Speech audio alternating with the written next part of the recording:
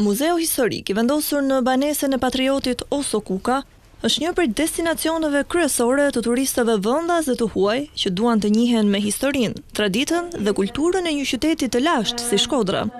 Ato shprehen se i pëlqen të njihen me historinë e Shkodrës dhe ky muze i fut ato në brendësinë dhe historinë që mbart qyteti i Shkodrës. We're from Belgium. Jemi nga Belgjika. Do të qëndrojmë dhjetë ditë në Shqipëri, por dy ditë në Shkodër. Ky muze është vërtet shumë i këndshëm. Të shohësh trashëgimi kulturore është bukur dhe për ne është hera e parë që jemi këtu. Dhomat sipër janë të ruajtura shumë mirë dhe krijon idenë se si ishin më parë. Është vërtet këndshëm.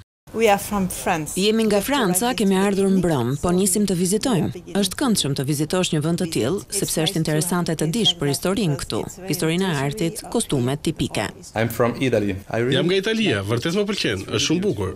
Më pëlqen kjo pikturë. Duke qenë se jam nga Italia, jam i lidhur me këtë lloj arti. Do të vizitojmë Muzeun Marubi dhe do të shkojmë në Kalanë e Rozafës.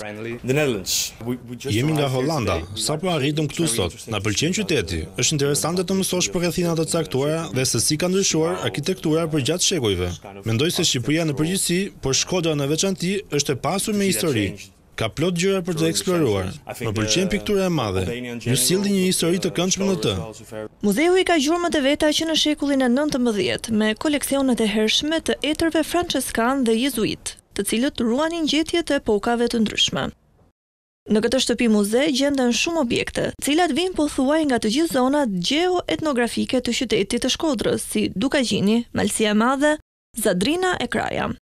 Në Muzeun Historik Oso Kuka të Shkodrës, ndodhet gjithashtu dhe një galeri prej mbi njëqind veprash arti, ku shfaqen disa prej piktorëve më të njohur shkodranë, si Kol Idromeno, Simon Rrota, Kel Kodheli e të tjerë.